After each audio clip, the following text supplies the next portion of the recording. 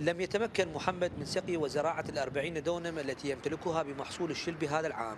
بعد تحديد المساحات المزروعة والحصص المائية من قبل وزارتي الزراعة والموارد المائية ضمن الخطتين الزراعية والمائية جديدتين بسبب شحة المياه.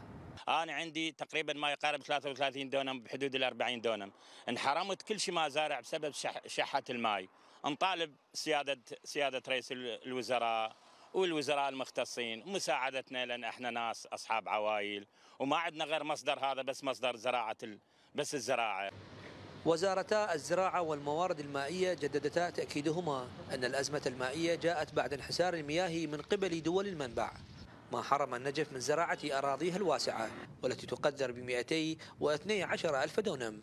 مساحتنا الزراعية الحقيقة 212 ألف دونم التي تزرع كخطة زراعية للمواسم السابقة إلا أن هذه الشحة قلصت المساحة إلى 6000 ونص دونم تزرع بمحصول العنبر.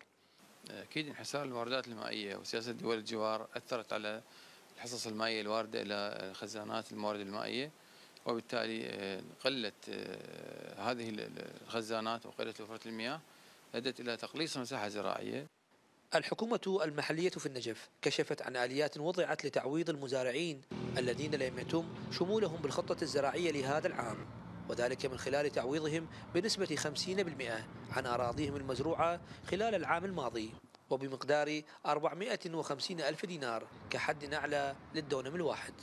وضعت آلية للتعويض اللي هي تشمل جميع المساحات المزروعة للعام الماضي والمحرومة في هذا العام. وحسب الخطة الزراعية وليس الخطة التسويقية المبلغ التعويض راح يكون هو 50% بعد ما صارت هذه اللجان ودرست آلية التعويض.